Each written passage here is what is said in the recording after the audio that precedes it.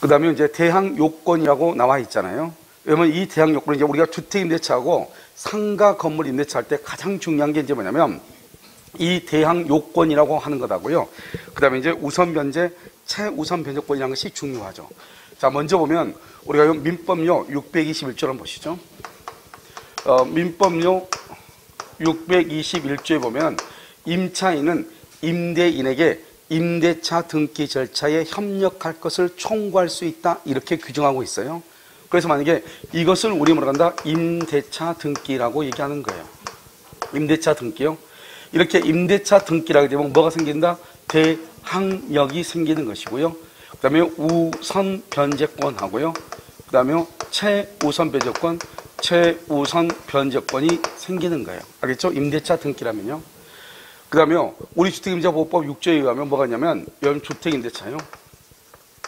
주택임대차에 보면 임대차가 종료가 됐는데 보증금을 반환받지 못하잖아요.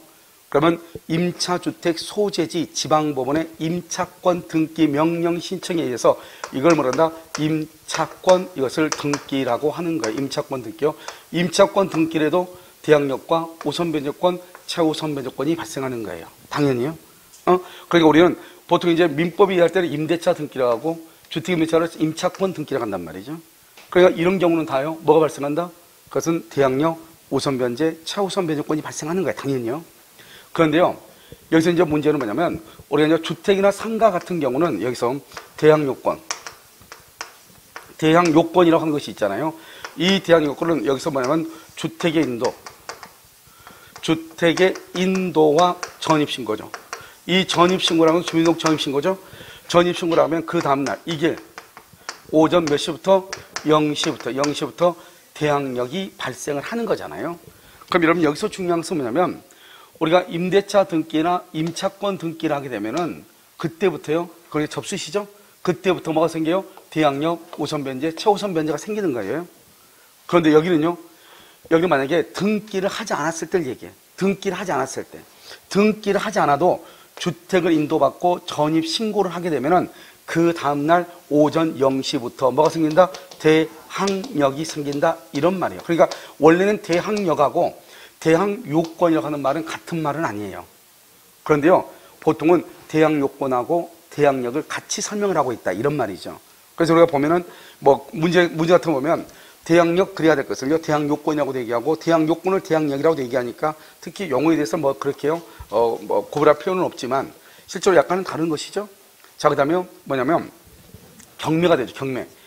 경매에서 매각 대금이 나오잖아요. 경매에서 매각 대금이요. 이것을 뭐를 하죠? 배당을 해야 될 거 아니에요. 그래야 경매에서 얘기하는 거지 매매. 매매에서는 이런 말이 나올 수가 없는 거예요. 매매에서는. 경매에서만. 경매나 공매에서만. 그럼 경매나 공매에서 매각 대금이 나오면 그것은 이제 순서에 의해서 배당을 해야 되잖아요. 여기서 배당을 할 때는 어떻게 배당을 하냐면 이런 순서로 배당하죠. 먼저요, 저당권 실행 비용. 저당권 실행 비용하고요. 저당권 실행 비용이요. 그 다음에 제3취득자. 제3취득자의 비용 상환 청구권. 이 비용을 떼는 거예요, 일단요. 그 다음에 여기서 뭐냐면, 그 다음에 최우선 변제권. 그래서 최우선 변제권이라고 하는 것이 있어요. 최우선 변제권이요. 그 다음에 여기 뭐냐면, 당해세라고 해요. 당해세는 당해 부동산에 나오는 세금 얘기하죠. 그래서 그 다음에는요, 우선 변제권이라고 하는 것이 있는 거예요. 우선 변제권, 이렇게요. 그럼 이번에요, 이번에 5월 11일 날 최우선 변제권의 범위가 바뀌었어요. 알겠죠? 시행령에서요. 그래서 그럼 보면 게시되어 해놨으니까 한번 보시면 되는데, 이게 이제 서울에서는요, 서울에서는 1억 천이었잖아요. 1억 천에서 지금 얼마로 바뀌었다? 1억 5천에서 얼마까지 최대 5천만 원까지 이렇게 바뀌었단 말이죠. 그래서 이거는 최우 선 변제권 이렇게 여기는 우선 변제권 이렇게. 그래서 순서가 순서가 어떻게 하느냐? 먼저요. 저당권 실행 비용이라든가 제3취득자의 비용 상환권이라든가 당해세 이런 것이 없다고 봐. 없다. 별로 그렇게 미미하니까요. 그러면 먼저 최우선 변제를 먼저 빼고 그 다음에 뭘 뺀다? 우선 변제를 빼는 거예요. 매각적이면서. 그러면 최우선 변제권은 뭐냐? 대항 요건. 대항 요건에다가요. 여기는 소액 임차인 소액. 소액 임차인. 소액은 이번에 서울에서는요. 1억 5천에서 얼마까지? 5천만 원까지. 알겠죠? 이렇게 바뀌었단 말이죠. 그 다음에 경매, 개시, 등기 전까지 이렇게 개시 등기 전까지 이렇게 그 다음에 여기 우선 변제죠 이러면 우선 변제는 뭐냐면 먼저 대항 요건이 있어야 돼그 다음에 이거 뭐가 있어야 돼요? 확정 일자가 있어요. 확정 일자요. 그런데 여기서 중요한 것은 여기 최우선 변제를 할 때는요 소액이지 무슨 요건 뭐는 필요 없어요? 확정 일자. 확정 일자는 필요하다 필요하지 않다? 필요하지 않다는 거예요 여기서는. 여기서만 확정 일자가 필요하다는 거야 대항 요건. 그러면 이 대항 요건을 한마디로 말하면 뭐냐면 그냥 한마디로 말하면 전입 신고를 해야 된다. 이 말이죠 전입 신고요. 그럼 여기도요 여기도 대항력도 대항력도 뭐가 있어야 돼요? 대항 요건을 갖춰야 되잖아요 우선 면제 최우선 면제도 다 대항 요건을 갖춰야 되죠 그래서 그러면 우리가 임차권에 등기가 되어 있지 않는 한 임차권에 등기가 없잖아요 임차권에 등기가 되어 있지 않는 한 반드시 뭐를 해야 된다 전입 신고가 있어야 돼 그러니까 주택 인도 당연히 바닥하고 그러니까 전입 신고가 되어 있지 않으면 이것은 뭐가 없는 것이다? 대항력 우선 변제, 차우선 변제가 없는 거예요. 그러니까 가장 중요한 것은 주택에서 등기가 없다 한다면 반드시 뭐는 있어야 된다? 전입 신고는 있어야 된다. 전입 신고가 없으면 우선 변제, 차우선 변제, 대항력이 다 없는 거예요. 그다음에 이 우선 변제와 차우선 변제는 오직 경매 대금에서만 알겠죠? 매매 대금에서는 그것은 대항하는 거지 이것은 뭐죠? 우선 변제, 초선 변제란 말이 나올 수 있다 없다? 없다. 그런데 이제 이걸 우리가 한 가지 더 알려면 이걸 이것만 가지고 우리가 이해할 를수 없는 것이에요. 먼저 또 뭐냐면 말소 기준 권리라고 하는 것이 있단 말이죠. 이 말소 기준 권리라는 것은 저당권, 근저당권, 그다음에 압류, 가압류, 그다음에 여기요 경매 개시등기 기록이 이건 뭐 시험에 안 나오니까요. 어, 뭐죠? 가득이 담보, 경매 개시등기 같은 것이 있는데 이 말소 기준 권리가 있죠. 이 말소 기준 권리에서 이렇게 갑이 있고 A, B, C 이렇게 있잖아요. 그럼 이 사람이 뭐냐면 저당권이고요. 여기 이 사람이요 전세권, 지상권, 그다음에 요 임차권, 그다음에 C는요 근저당권 이렇게 있잖아요. 그럼 여기서 이제 경매가 될 거 아니에요. 경매가 되면 이것을 경락받은 경락인이 있잖아요. 경락인이 을이잖아요. 그럼 경매가 딱 개시가 되면은 이런 말소 기준 권리가 어디가 있는가를 빨리 판단을 하는 거예요. 그래서 판단을 했더니요. 어디가 있어요? 여기요. 저당권, 근저당권. 여기 저당권이 있네요. 여기 근저당권이 있네요. 그럼 두 개죠? 이 둘 중에서 가장 위에 있는 것이 어떤 거예요? 가장 위에 있는 것? 그것은 저당권이죠? 여기 이 A가요. 경매가 되면 말소가 되는 기준이 되는 거예요. 그래서 말소가 되는 기준이 돼서 어떻게 돼요?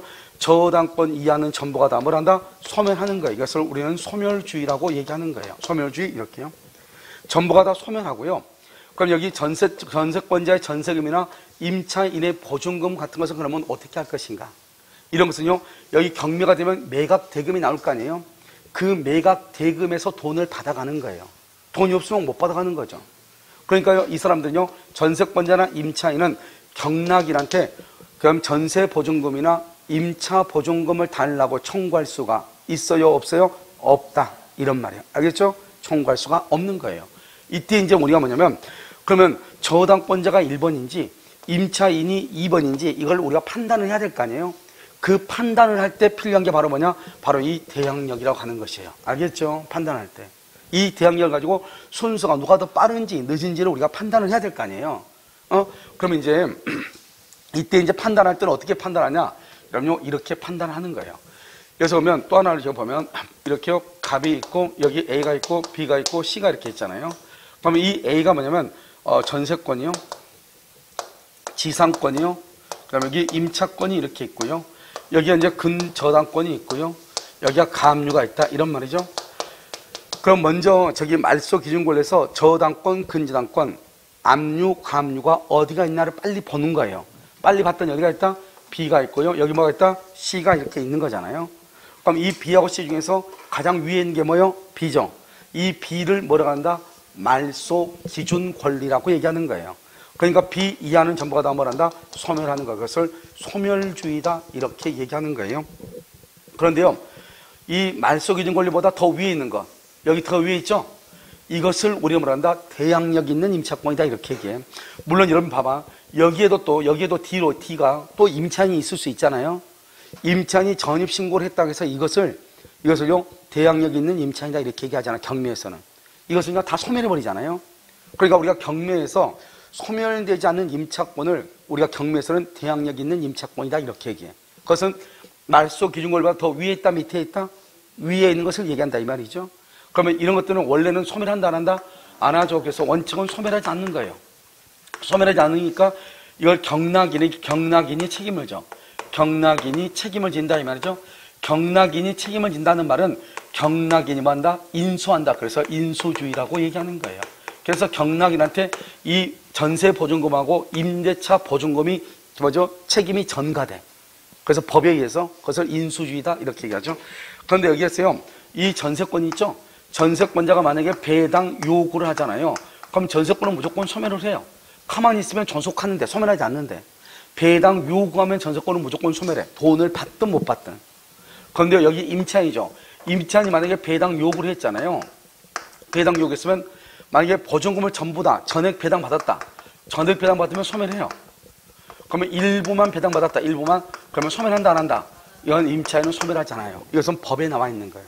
그래서 우리가 이제 얘기할 때 항상 뭐만 나온다? 전세권만 나오는 거예요. 그래서 전세권은 자기가 배당료, 자기는 1번이니까 그냥 살아도 되는데 나 그냥 경매당한 집에서 살기 싫어. 이런 사람이 있잖아요.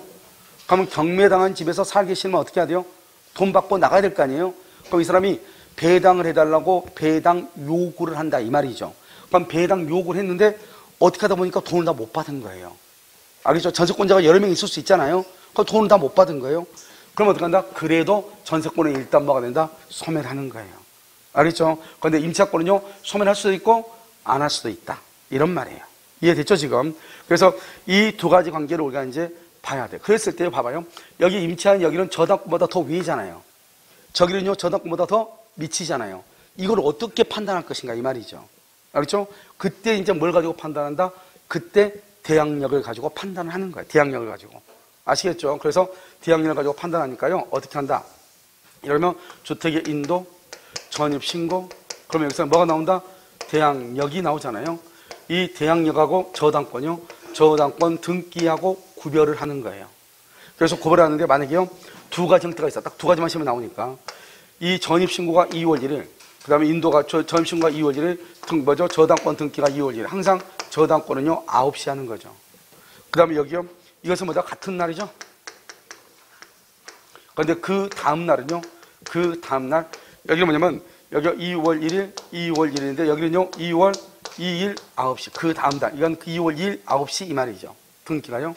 그러니까 전입신고하고 같은 날 저당권이 있느냐, 그 다음 날 저당권이 있느냐. 항상 이렇게만 나와.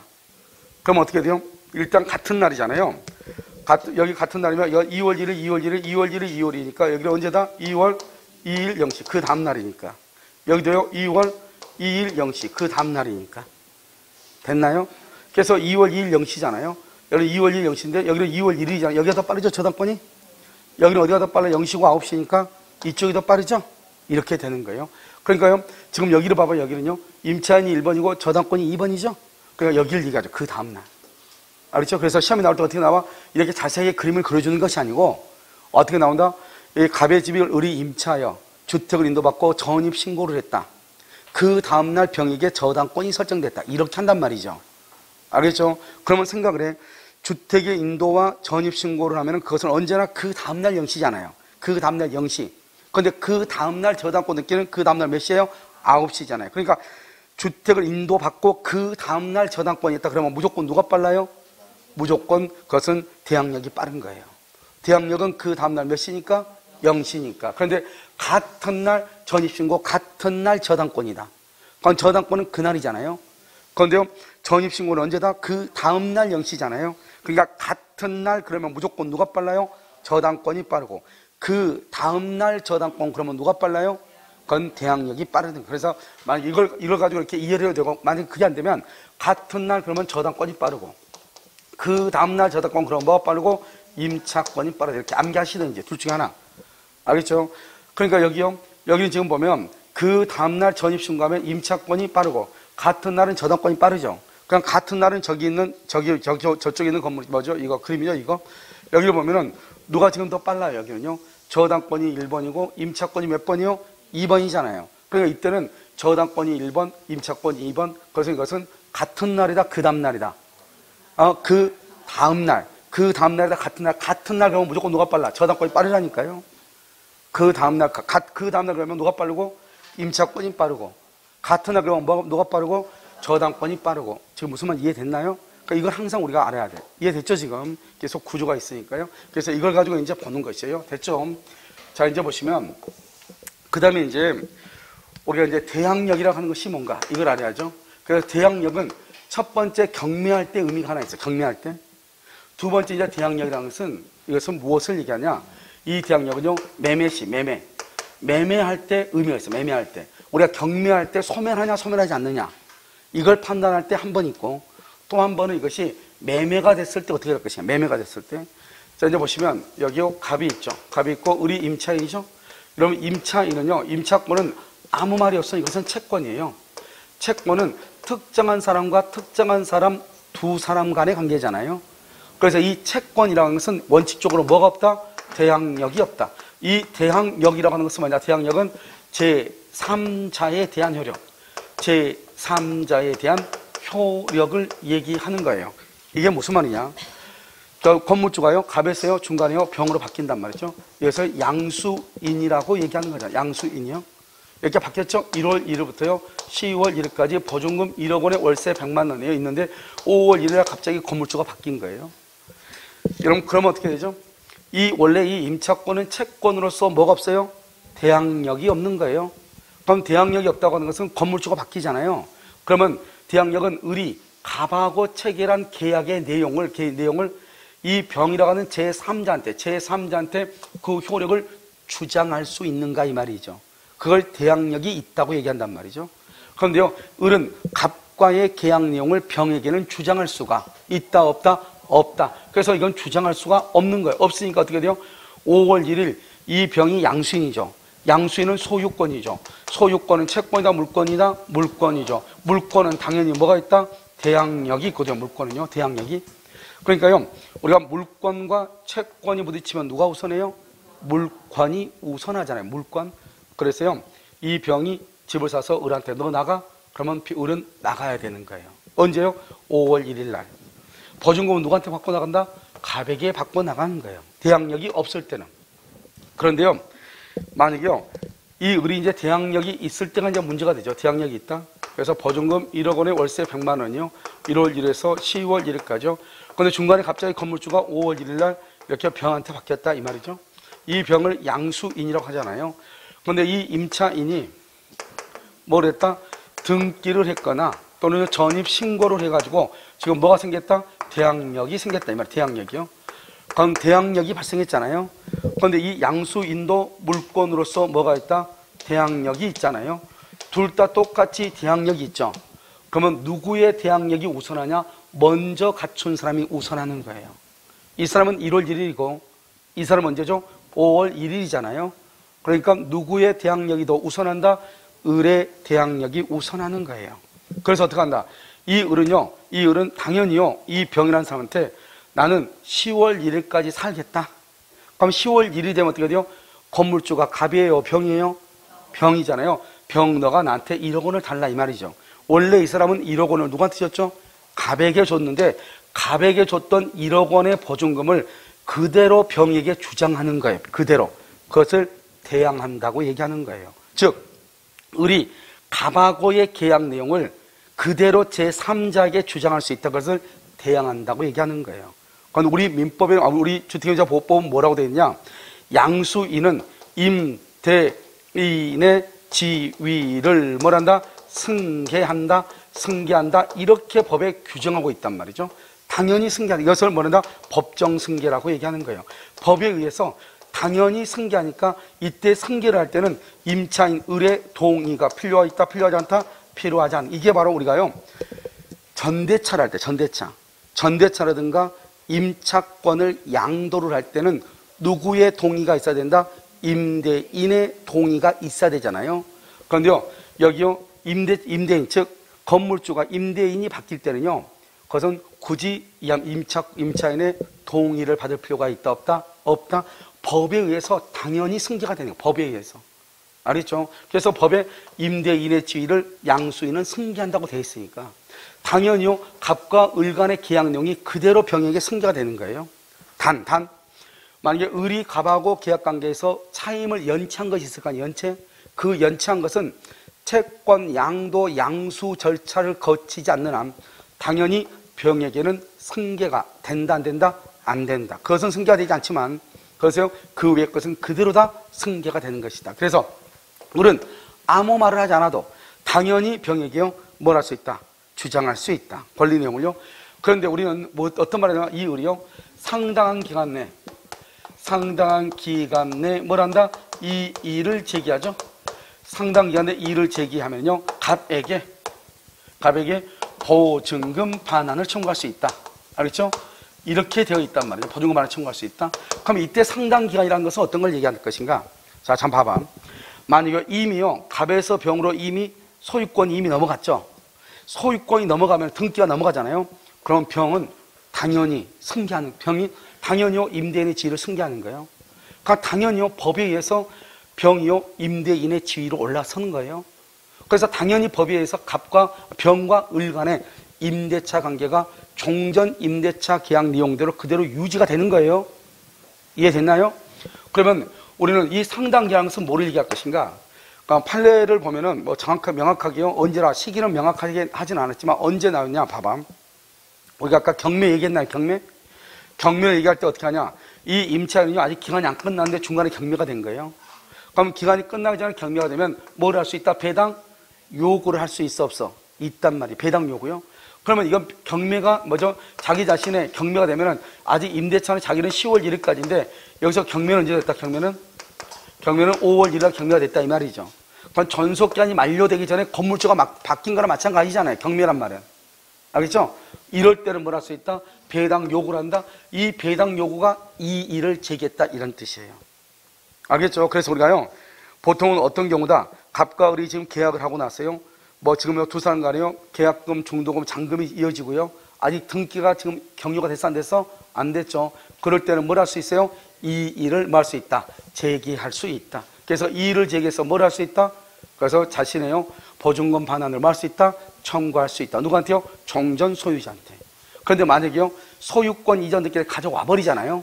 가져오면은 양수인은 법에 의해서 당연히 임대인의 지위를 승계한다고 되어 있기 때문에요. 만약에 소유권 이전 등기를 가지고 온 상태에서는요, 이 을은 원칙적으로요, 뭐죠? 이 일을 제기할 수가 있다, 없다? 없다. 이런 문제점이죠. 그러면요, 만약에 임대인이요, 임차인한테 알리지도 않고, 알죠? 계약을 해가지고 등기 치고, 어, 뭐, 집 팔고 간 사람도 있어, 없어? 있잖아요. 그럴 때는 어떻게 할 것인가? 그래서 이번에요, 그것이 이제 서울지방법원에서 뭐 문제가 한번 됐는데요. 그래도 판례가 말하겠다. 서울지방법원에서는요, 그래서 임대인의 지위를 승계한 것을 보기 때문에 더 이상 이 일을 제기할 수 없다 이렇게 되어 있어. 그래서 계약 관계이기 때문에 어때요? 법정 승계가 이미 됐잖아요. 승계가 이미 됐기 때문에 그 계약 관계는 지켜야 된다는 것이죠. 알겠죠? 그래서 우리가요 이 일을 제기할 때는 시기적으로 보면 우리가 이제 경매를 가지고 딱 보면은 내가 전속 기간이 만료되기 전이라고 할지라도 배당 요구를 할 수가 있게 돼 있잖아요. 그 배당 요구가 이 일을 제기했다. 건물주가 바뀌었으니까 경매는요. 이 일을 제기했다 이런 뜻이에요. 그랬을 때는 내가 가서 법원 가가지고 뭘 받아가죠? 배당 받아가죠? 그 배당 받아가는 것은 갑의 건물이 경매가 돼서 받아가는 거잖아요. 결국 누구한테 받아가는 거예요? 갑에게 받아가는 거잖아요. 이해됐죠? 그것을 우리는 뭐란다? 이 일을 제기한다. 이렇게 얘기를 해. 알겠죠? 그래서 나중에요. 이미 소유권 이전 등기가 변경된 후에는 이 일을 제기한다 할지라도 승소 가능성이 있다 없다? 없다. 이렇게 보시죠. 그것은 법에 나와 있으니까요. 아시겠죠? 이것을 이제 우리가 기본적으로 대항력이라고 하는 것이 무엇인가 이것을 이제 본단 말이죠. 자, 지금부터 한번 보시면 자, 이제 제 3절 한번 보셔요. 자, 임대차는 뭐가 없어도 등기가 없어도 우리가 등기는 여기서 뭐, 뭐가 있다? 임대차 등기가 있고요. 그 다음에 또 무슨 등기가 있다? 임차권 등기 이렇게 두 가지가 있단 말이죠. 좀 이따 우리가 보면은 임대차 등기가 나오고 임차권 등기라고 나와. 알겠죠? 이 등기가 없어도, 없어도 있으면 뭐 한다? 당연히 대항력 우선 면제, 초선 면제가 있죠. 이게 없어도 주택을 뭐 하고 인도받고 그 다음에 뭐 한다? 주민등록 전입 신고를 마치면은 언제부터 그 다음날 그 다음날 뭐 한다? 이길 오전 0시부터 제3자에 대한 효력 항상 이렇게 나와 우리가 법조문을 해서 제3자에 대한 효력 이것을 뭐란다? 대항력이다 이렇게 얘기해 대항력 여기서 전입 신고를 뭐란다? 주민등록된 것으로 봐. 전입신고, 전입신고. 이때 전입신고가 이제 또 중요하죠. 어, 무엇을 전입신고로 할 것인가? 먼저 여러분요, 다가구죠? 다가구 주택의 경우는 동, 호수, 지번 중에서 뭐만 하면 된다? 지번만 기재하면 되는 것이고요. 다 세대는요, 다 세대? 다 세대는요, 동, 호수, 호수 뭐다? 지번. 이 동호수 지번을 다 기록을 해야 되는 것이고, 다 세대는요. 그 다음에 우리가 이때 전입신고는 가족의 주민등록을 포함한다, 이렇게. 그러니까요, 아버지가요, 임대차 계약을 체결하고요, 그 딸이요, 전입신고를 해도 그것도 인정한다, 이런 뜻이에요. 무슨 알겠죠? 그러니까 항상 우리가 시험에 나오면 뭐라고 나오냐면, 가족과 함께 전출했다. 가족은 두고 전출했다. 가족이 없이 혼일로 사는 갑이 이런 말이 나온단 말이죠. 그 말의 뜻이 뭐냐? 가족의 전입신고가 뭐가 될 수 있다? 전입신고로 인정될 수 있다는 거니까 가족과 함께 다 갔단 말은 전출이고 가족은 남겨두고 전출했다는 건 전출이 아니고 무슨 말인지 알겠죠? 그것을 구별하기 위해서 하는 것이다 이런 말이에요. 아시겠죠? 이것뿐만 아니고 이제 여러 가지가 지금부터 나오니까요. 하나하나 보면서요 설명하도록 그렇게 하겠습니다. 그래서 여러분 일단 뭐가 있으면 여러분 자 등기죠 등기. 그럼 여러분 이건 어떻게 해요? 만약에 등기가 있으면은 등기가 있죠. 그러면 등기가 있으면은 전입신고가 반드시 있어야 돼 없어야 돼? 등기가 있으면 전입신고가 있어야 돼 없어도 돼? 없어도 된다 이 말이죠. 알겠죠? 그래서 관계가 없다 이렇게. 자, 그 다음에 대학력은요, 국민, 어, 주- 국민주택 기금을 재원으로 하여 저소득층 무주택자에게 주거 생활 안정을 목적으로 전세 임대 주택을 지원하는 법인이 그 주택을 임차한 후 지자체장 또는 그 법인이 선정한 항상 여러분들 나중에 이제 실무하는 보면 LH공사에서요, 그 물건을 넘겨받아가지고 LH공사에서 임대를 해가지고 무주택 서민들한테 이렇게 다시 재임대를 주는 경우가 있단 말이죠. 그러니까 이런 건물 있잖아요, 이렇게요. 건물 있으면 이건 이제 갑의 소유예요. 이것을 LH공사에서 이것을 임대하든지 전세를 하죠. 전세를 가지고 올 수리를 해가지고 올 수리 가지고 이걸 다시요 병한테 이렇게 다시 임대를 준단 말이죠. 이때 이 병을 보통 임차인이라고 하지 않고 뭐라고 얘기한다? 여기요 입주자라고 얘기를 해. 그래서 여러분요 LH공사하고 계약을 하면 항상 그 입주자가요 이런 말을 할 거예요. 알겠죠? 그래서 LH공사 여기서 LH가 이거 주잖아요. 그래서 이 사람들을 입주자라고 그래. 아시겠죠? 그러니까 입주자가 그 주택을 인도받고 주민등록 전입 신고를 하죠. 그럼 어떻게 한다? 그 다음 날부터 제3자에 대해 소유를 있다. 이렇게 돼 있나요? 자, 이게 지금 뭐냐면 이 말의 뜻이 뭘 얘기하냐면 이런 거예요. 우리는 원칙적으로 주민등록이죠. 그럼 주민등록은 누가 하는 거죠? 주민등록 누가 해? 자연인이 하는 거죠, 자연인. 자연인이 아니고 우리 법인, 사람에는요, 자연인하고 뭐가 있어요? 법인이 있잖아요. 법인은 주민등록 번호가 있어, 없어? 없잖아요. 그래서 법인은 원칙적으로 주택 임대차 보호법이 적용된다, 안 된다? 안 되는 거예요. 그런데 만약에 이 법인이요, 주택 임대차 보호법이 적용되지 않는데, 여기서 예외적으로 어디다? LH공사하고, 그 다음에 뭐다? 주택 사업을 목적으로 하는 지방 공사하고, 그 다음에 뭐다? 중소기업. 이 중소기업 이 세 가지는 그것은 법인의 경우에도 주택임대차 보호법이 적용이 된다 이 말이죠. 자 그럼 봐봐. 이 건물을요. 이 건물을 가볍 건데 의리랑 아, 맞죠? LH공사죠. LH공사가 이것을 뭐죠? 이 건물에 임대를 해. 그럼 LH공사는 법인이잖아요. 그런데요, 이 LH공사가요, 입주자, 입주자요, 의리한 사람을 입주자고 다시 또 계약을 해서 이걸 집어넣는단 말이죠. 그래서 LH공사가 빌릴 때 이걸요, 먼저 전세금 1억 5천에 빌려. 그걸 수리해가지고 얼마를 이 사람한테 주냐. 우리 보면 이거 모자 가정이라든가, 아, 한부모 가정 있죠? 그 다음에 뭐, 최상위 계층 있잖아요? 국가로 또 보호를 받는 최상위 계층이라든가, 뭐 이런 사람들한테 줄 때는 연 1억 5천을 빌리면은 보증금 2천에 월세 한 40만 원, 35만 원 이렇게 줘서 넘긴단 말이죠. 그럼 어떻게 돼요? 여기 이 LH공사가 가봐고 지금 계약을 했잖아요. 그런데 이 LH공사가 선정한 이 사람을 뭐라고 한다? 입주자라고 한다 그랬죠? 이 입주자가 여기에 들어와서 이것을 전입 신고를 하잖아요. 그럼 이 전입 신고라면은 이, 이 전입 신고를 의뢰 전입 신고로 봐주는 것이 아니고 누구의 전입 신고로 봐준다? LH공사의 전입 신고로 봐준다 이 말 아니에요. 무슨 말 알겠죠? 그래서 여러분요, 뭐 다른 어떤 것은 뭐죠? 그 어, 전세권 전세권 있잖아요.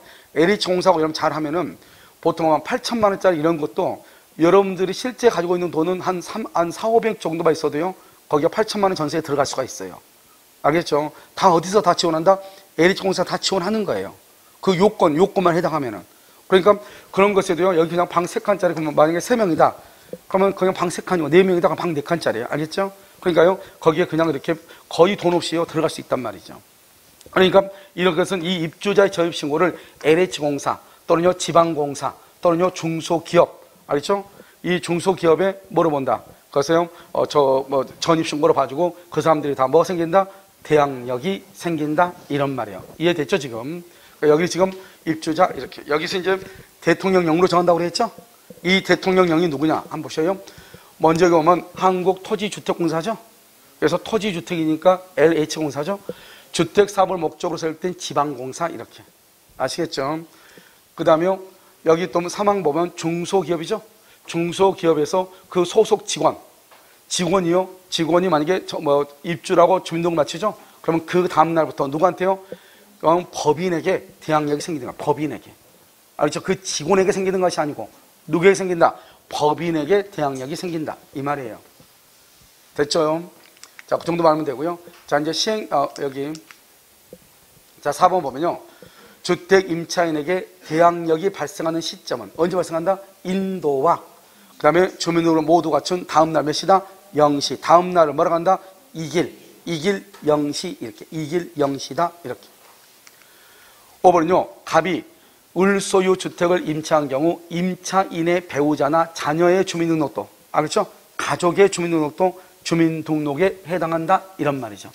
됐죠?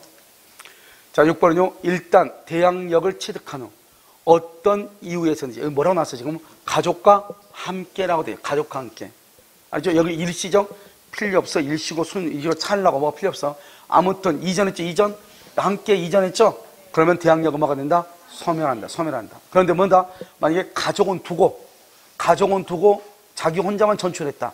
소멸한다 안 한다? 안 한다. 알겠죠? 이렇게. 그래서 가족과 함께 이 말이 중요해. 자요. 어, 한국토지주택공사가 주택을 임차한 후 한국토지주택공사가 선정한 입주자가 인도받고 전 주민 등록을 했죠? 그러면 누구한테 대항력 치하나 누가? 법인인 A. A가 누구죠? LH공사가. 알겠죠? 그러니까 입주자의 전입신고를 누구의 전입신고로 봐준다? LH공사의 전입신고로 봐준다. 이 말이죠. 아시겠죠? 그 다음에 전입신고란 것이 뭔가? 자, 지금부터 봐요. 이런 우리가 이제 전입신고는 뭐냐면 먼저 우리가 정, 어, 전입신고서를 작성하죠. 작성하고 그걸 제출하죠. 제출하고 그 다음에 여기요 접수해가지고요. 접수해서 검토해가지고요. 그 다음에 여기 수리해가지고요. 그 다음에 주민등록부에 등재를 이렇게 하잖아요. 어? 그러니까 우리가 신고는 어디를 신고를 하는가? 즉 행정청에 도달했다. 도달은 뭐죠? 접수했다 이 말이죠. 도달할 때 신고로 볼 것인가 이 말이죠. 접수할 때. 신고는 언제를 신고를 한다? 언제를 저, 저 신고라고 그래? 그래서 수리할 때를 신고라고 해요. 수리할 때. 수리할 때를 신고라고 해요. 그래서 자, 지금부터 보시면요. 우리가 여기 너무, 너무 기니까 여기 그냥, 여기요. 작성, 제, 접수 이렇게 그냥. 자, 여기, 여기서 보면 1번 봐봐요. 1번은 100번지로, 100번지로 해가지고 100번지로 검토가 되죠. 100번지로 수리가 됐어. 그런데요, 공무원의 착오. 공무원이 착오를 했어. 공무원이 착오를 해서 101번지, 101번지로 등재를 했어. 101번지로. 공무원이 착오해서. 이것은요, 이것은 100번지로서의 전입신고 효력이 있어요, 없어요? 있다, 없다? 100번지로서 효력이 있다. 공무원이 착오했지. 왜? 이미 신고할 때 100번지로 신고 수리가 됐잖아요. 그러니까요, 이것은 등재가 잘못돼도 관계가 없다. 이런 말이에요. 아시겠죠? 자, 두 번째는요, 여기가 요, 100번지죠? 여기 100번지죠? 검토하는 중에, 검토, 검토하는 중에 반려를 했어. 100번지가 잘못됐다. 원래는 100번지인데. 그랬더니 이 사람이요, 공무원이 그럼 몇 번이냐 물어봤더니 공무원이 101번지래. 그럼 101번지로 공무원이 가르치는 대로 101번지로 이렇게 했단 말이죠. 101번지로 수리가 돼가지고 101번지로 등재가 됐어. 알겠죠? 이런 경우는 대항력이 있다 없다? 대항력이 없어요. 알겠죠? 왜요? 공무원이 비록 잘못 알려줬잖아요. 잘못 알려줬어도 수리하기 전이잖아요. 그러니까 아직은 신고가 있었어 없었어? 없었잖아요. 그래서 인정되지 않는 것이에요. 자, 그 다음에 이 사람이요. 몇 번지다? 잘 모르고 101번지로 한 거예요.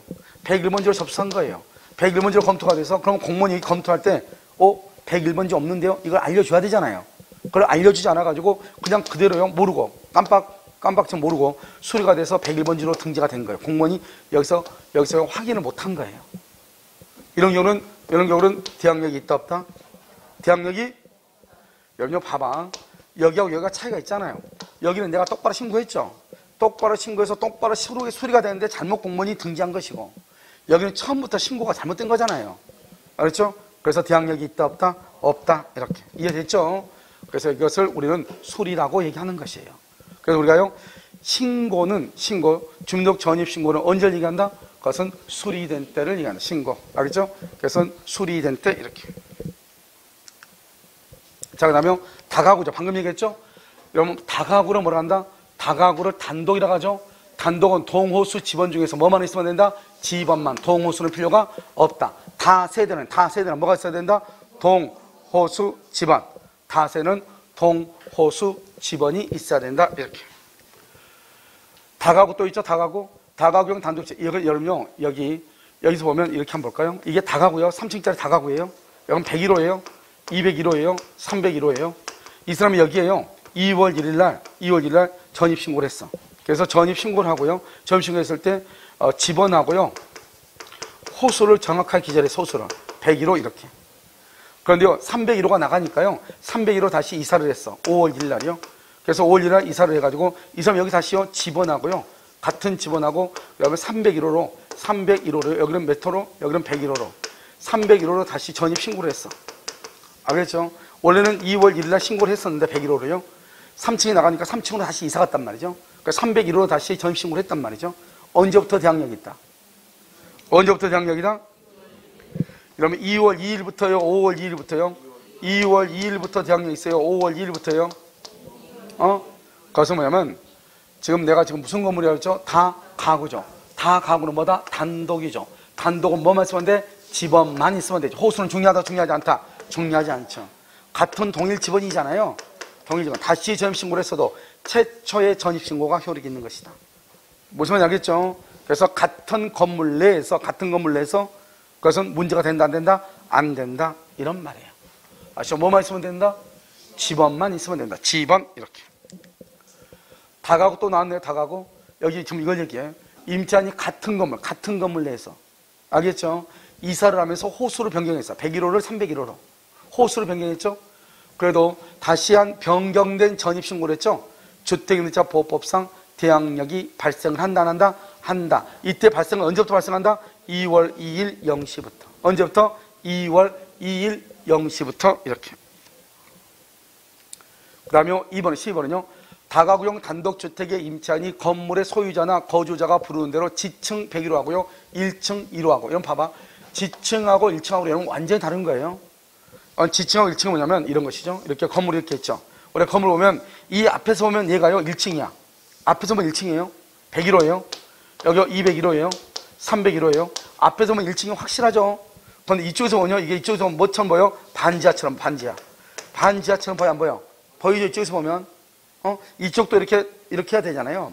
여기는 흙으로 이렇게 쌓여 있다고 그냥 반지하처럼 보인단 말이죠. 여기는 1층처럼 보이고 이것을 지층이라고 하는 거예요.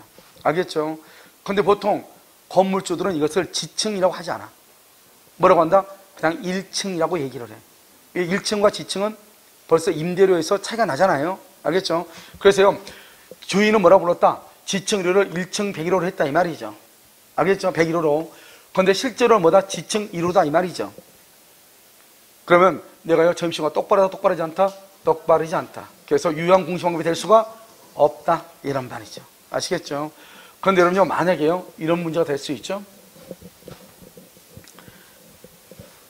만약에요, 우리가요, 여기요, 어, 신고는요, 신고는 101호로 신고했어요.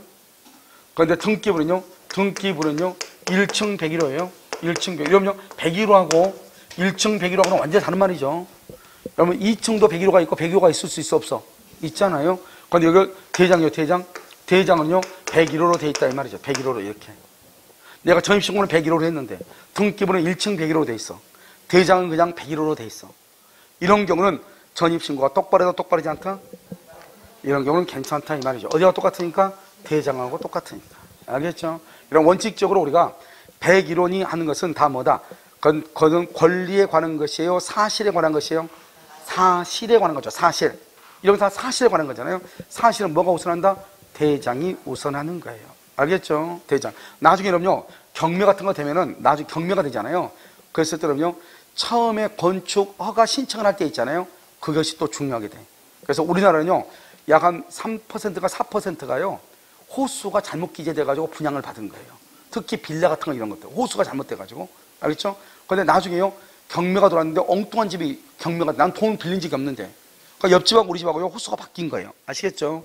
이런 경우가 전체에서, 우리, 우리나라 전체 건물이 한 4%가 그렇게, 그렇다고 그래요. 알겠죠? 그래서 여러분요, 이것을 확인할 수 있는 방법은 그것은 일반 대장만 보면 안 되고 처음에 건축 허가 신청할 때 있잖아요. 그 허가 신청할 때 그걸 봐야 되는데 그것은 사실 누구나 볼 수 있는 것이 아니고 그것은 건물주만 아마 볼 수 있나 봐요. 알겠죠? 이해 당사자면요. 그러니까 그게 아주 문제는 되긴 되죠. 아무튼 그런데요. 101호하고 1층 101호하고 101호 이렇게 했을 때 그러니까 우리는 보통 그러면 뭘 가지고 신고하면 아무 문제 없어요? 일단 등기부대로 신고하면 별 문제가 없죠. 그런데 이런 경우는 극히 드물죠. 아시겠죠? 요즘은 다 전산으로 처리가 다 돼가지고 일치하자는 바로바로 뜨겠죠. 아시겠죠? 예전에는요, 종이로 다 했었잖아요. 수기로요. 그러다 보니까 이것이 약간요, 변경될 염려가 있었지만 지금은 거의 전산, 정, 전산 정보 처리에 의해서 하기 때문에요. 그런 경우는 극히 많지는 않겠죠. 자, 그 다음에 다세대죠. 다세대. 그럼 다세대는 뭐가 있어야 돼요? 동, 호수, 그 다음에 집안, 집안. 동 호수 표시 없이 그러면 안 돼. 알죠? 동 호수 집안을 정확하게 기록을 해야 돼. 그래야지 대학력을 취득해. 그래서 동 호수 표시 없이 그럼 이것은 다 가구를 얘기하는 거잖아요. 다 세대는요. 동, 호수, 집원을 기재를 해야 된다. 자, 14번은요. 전 봐봐. 전출은 전출은 어디로 했다? 260에 3으로 했어요. 근데 전임은 어떻게 했다? 206에 3, 206. 260하고 206은 같아 틀려요. 틀리죠. 그래서 올바른 전입 신고도 아니다. 아니다. 아니다. 이 말이죠. 그래서 공무원 이걸 발견 못하고 여기 봐봐 담당 공무원도 발견 못하고 이것은 담당 공무원이 잘못한 거 아니죠 처음부터 전입신고가 잘못된 거죠. 처음부터 전입신고가 잘못된 경우는 보호된다 안 된다? 안 된다 이 말이죠. 알겠죠? 그래서 유효한 공시방법이다. OX X 유효하지 않다. 이런 말이죠. 그럼 언제부터 유효하죠? 어, 260에 3으로 수정해야죠. 수정 신고한 그 다음날 0시부터. 자, 그 다음에 전대차죠? 자, 전대차는요, 우리가 이제 전대차의 경우는 뭐라 한다? 그럼 여기서 간접점유 이렇게요. 간접 점유 하나 쓰면은, 자, 이제 지금부터 봐봐요. 여기. 이렇게 이제 갑이 있고, 여기 을이죠. 이게요, LH공사예요. 그럼 LH공사면 이건 다 뭐예요? 다 임대 아파트다. 이 말이죠. 임대 아파트 LH공사예요. 여기 보시면 보증금 1억 원이에요. 월세 100만 원 주고 살고 있어. 1월 1일부터 10월 1일까지. 이 사람이 누구예요? 임차인이에요. 임차인.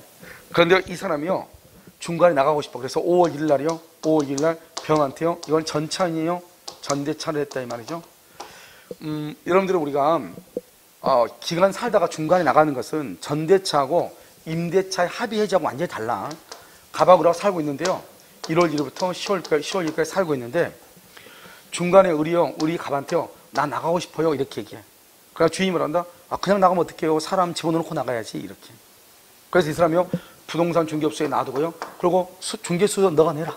이렇게. 그래서 중간에 이제 어떻게 어떻게 해가지고 사람 보여가지고 5월 1일에 병을 데려왔다 이 말이죠. 그러니까 병은 보통 이렇게 데려오죠 우리가 보통. 그럼 이 병은 을하고 계약을 해요? 갑하고 계약해요? 누가하고 계약해? 아 집주인하고 계약하죠. 집주인하고. 집주인하고 계약해서는 어떻게 돼요? 이 사람 이 사람 집주인한테 계약하고 집주인한테 보증금 주죠. 보증금 주면 그럼 어떻게 해요? 집주인 어떻게 해요? 그 보증금을 받아서 누구한테 줘요? 을한테 주고 을은 나가잖아요. 여러분 이것은 뭐냐면 두 사람 간의 합의 해지라고 하는 거예요. 합의 해지. 그러니까 합의니까 계약이죠. 계약이니까 갑이 을한테 뭐라 한다? 그럼 너가 중개수도 너가 내. 이렇게 하잖아요. 알았어요. 내가 그러면 계약이니까 조건 붙일 수 있어 없어? 있잖아요. 그럼 내가 내고 나갈게요. 이렇게 나가는 거잖아요. 이것은 전대차 아니에요. 어? 이 사람하고 직접 계약하는 거잖아. 합의, 먼저 합의 해지하고 둘이 계약이 된 거잖아요. 새롭게.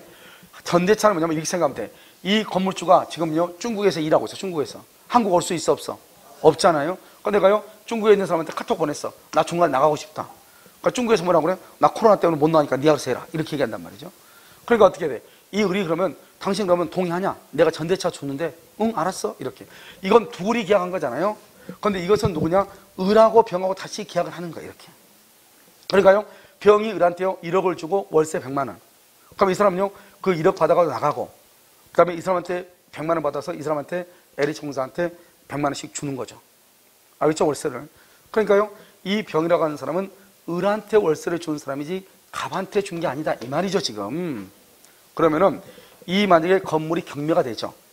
이 건물이 경매가 되면 이 건물의 경매 대금에서 돈을 받을 사람은 누구다? 을이다 병이다. 을이다 병이다? 여러분 을이죠. 병은 을한테 돈 줬지 갑한테 돈 준 게 아니잖아요. 그러니까 병은 갑의 건물이 경매가 되면 돈 한 푼도 못 받는 거예요. 그건 누가 받아야 돼요? 을이 받아야 돼. 그럼 을이 받으려면 뭐가 있어야 돼요? 우리 아까 했었잖아요. 을이 받으려면 우선 면제, 최우선 면제 어디가 있어? 저기 있죠? 전입신고하고 뭐가 있어야 돼요? 확정 일자 같은 게 있어야 되잖아요. 그런데 문제는 뭐다? 이 사람은요, 중간에 그 전대차를 줬으니까 이 사람은 뭐를 해야 돼? 전출을 해야 되잖아요. 전출하면은, 아까 우리 얘기했죠? 주택임대차 보호법에서는 전입신고가 있어야 대항력, 그 다음에 우선 변제, 차우선 변제가 인정되고, 전출 신고를 하게 되면 대항력, 우선 변제, 차우선 변제가 다 없어지는 거예요. 전출 신고를 하게 되면. 그래서 이 사람 전출하죠? 그럼 다 없어져. 이 상태에서 건물이 경매가 되죠. 이 사람 돈 못 받는 거예요. 돈 못 받으니까 병한테 돈을 못 줄 거 아니에요? 그러니까요, 다 손해를 보죠. 그런데요, 이 사람이 이렇게 전출 신고를 했는데요, 이 사람이 여기에 뭘 한다? 전입을 한, 전입. 전입 신고를 했어. 언제요? 5월 20날 전입 신고를 했다. 이 말이죠. 전입 신고를 했죠? 그러면 이 사람한테 대항력 해주고, 이 사람이 또 확정일자를 했어. 확정일자? 확정일자 해가지고 이 사람한테요, 어, 그 뭐죠? 전입 신고를 하고, 또 이 사람한테 뭐, 뭐죠? 우선 면제권 주고는 뭐 하겠어요? 건물이 경매돼도 돈 받아 못 받아? 뭐한 푼도 못 받잖아요. 왜? 병은 누구하고 계약했으니까?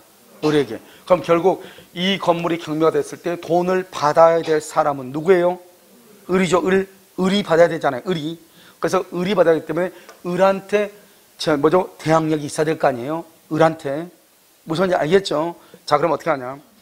이 병이라는 사람이 이쪽에 물건을요, 인도받고 병이 전입 신고를 하죠. 그럼 이 병의 전입 신고와 인도를 누구의 전입 신고로 봐준다? 을의 전입 신고로 봐준다 이 말이죠. 그러면 이 병을 무슨 점유라고 한다? 직접 점유라고 하고 임차인을 무슨 점유라고 한다? 간접 점유다.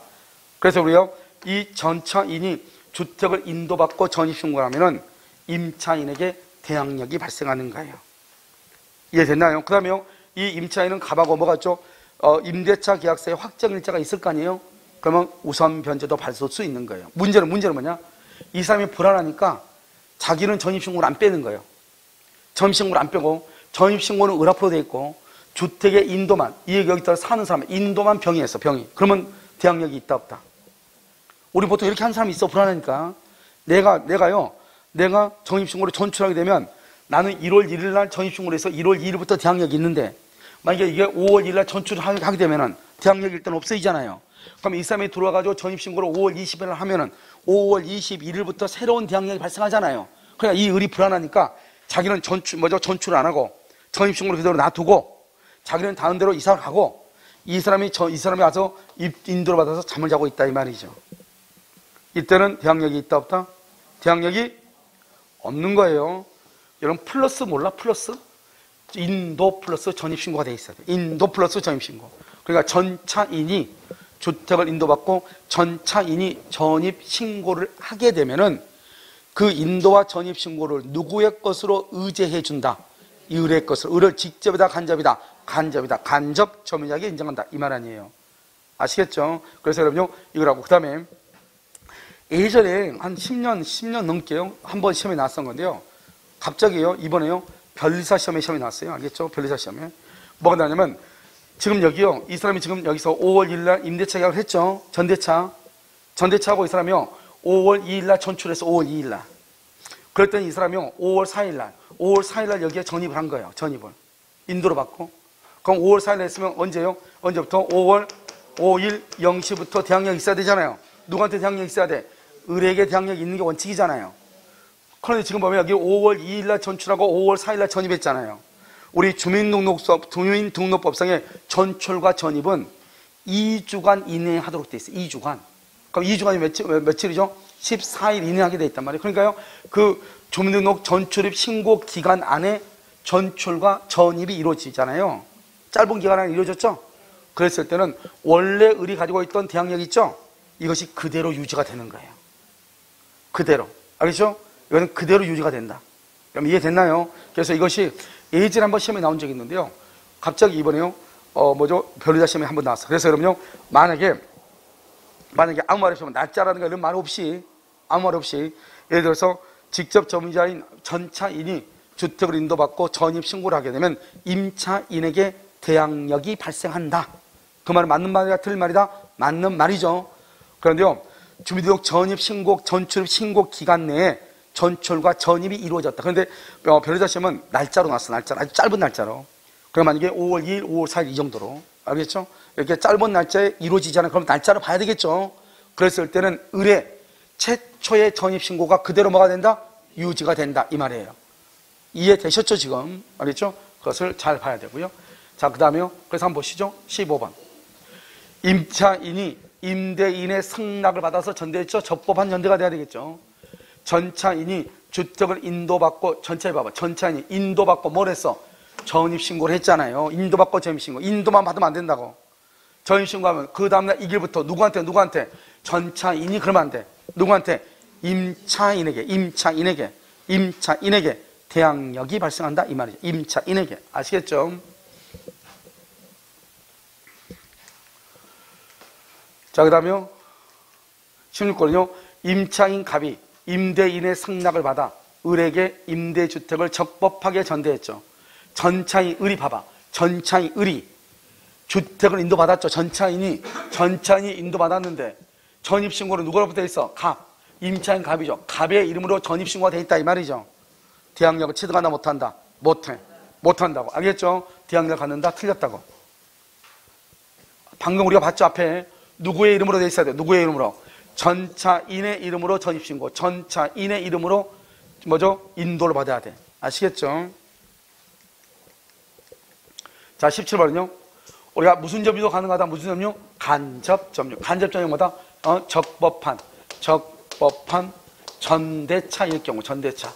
전대차. 적법한 전대차일 경우 임차인이 대항력을 취득한다. 임차인이.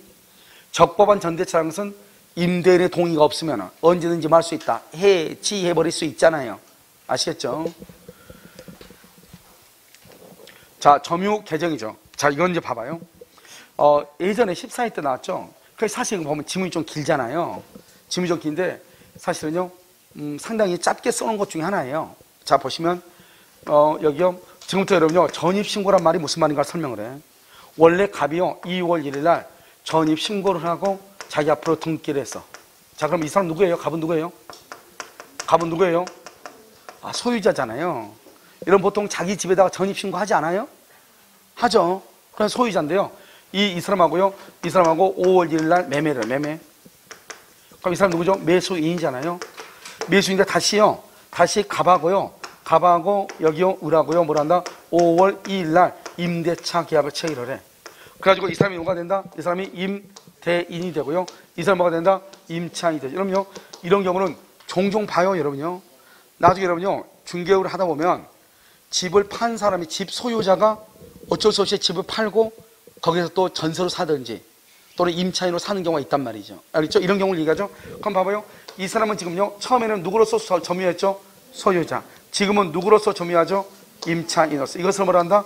점유 개정이라고 하는 거예요. 점유 개정?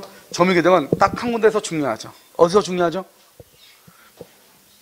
거기에서 중요하죠. 그래서 거기서 중요하다. 알겠죠? 그래서 거기서 중요하다고 해놓고 아무튼 점유 개정은요 어디요? 선의 취득. 선의 취득이 된다 안 된다. 점유 개정은 선의 취득이 안 된다. 이게 중요해. 알겠죠? 딱 한 군데서 중요해. 그런데요 맨 처음에 이 사람이 2월 1일 소유자로서 점유를 했는데요. 지금은 임차인으로서 지금 점유하고 있잖아요. 어? 한번 봐봐요. 그러면 외부에서, 외부에서 제3자가 봐봐. 제3자. 우리가 공시라는 말이 뭐예요? 공시. 공시라는 것은 공정한 장도를 계시한다 이 말이잖아요. 그럼 우리가요, 공시 방법이라는 것은 제3자가 봤을 때, 어, 저 사람이 소유자네? 저 사람이 전세권자네? 이걸 알아야 되잖아요. 그런데 임대차는 채권이잖아요. 채권은 특정인과 특정인 두 사람 간의 문제잖아요. 그러니까 예부에서는 쉽게 알 수가 있어 없어? 없잖아요. 그래서 우리가 공시 기능을 강화하기 위해서 우리가 등기는 등기부에 바로 등기되니까 누구나 알 수 있는데 우리가 임대차는 전입 신고만 하면은 대항력이 발생한다 그러면 아무것도 모르는 사람은 불치게 손해를 입을 수 있잖아요.